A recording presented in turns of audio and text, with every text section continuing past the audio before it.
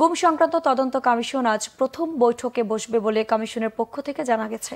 গুম সংক্রান্ত তদন্ত কমিশন গঠন ও গুম বিরোধী আন্তর্জাতিক সনদে স্বাক্ষর করার মধ্য দিয়ে বাংলাদেশে জোরপূর্বক গুমের অভিযোগগুলোর প্রকৃত ঘটনা বেরিয়ে আসার পথ তৈরি হয়েছে।